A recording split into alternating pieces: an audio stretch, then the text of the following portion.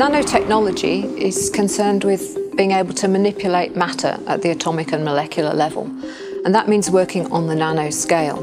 And to see matter at this scale, we need to use really powerful microscopes, which focus down to tiny areas on even tinier specimen dishes. To give you an idea, to set it in context, if we uh, look at a pin, a pin's about um, one millimetre across the head a million nanometers. Another example, a human hair is 60,000 nanometers across.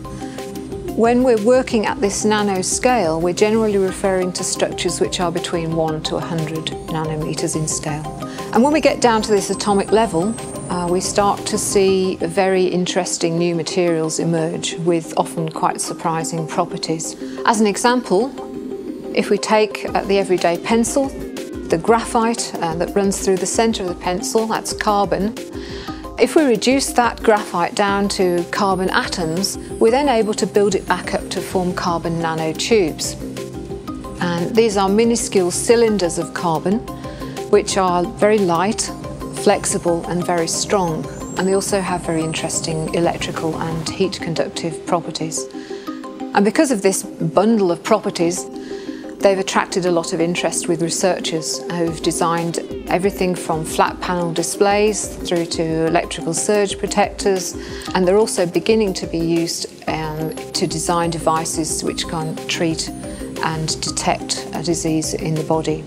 As another example, um, we take gold, gold on the nanoscale doesn't look gold at all. It's either red or blue or green depending on the size and the shape of the particles.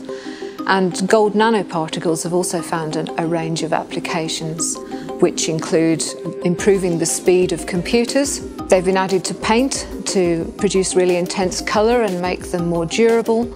And they're also beginning to be used in the fight to treat cancer. I'd say on the whole, even though nanotechnology is a fairly new area, it has incredible potential and is a really exciting area to be involved in.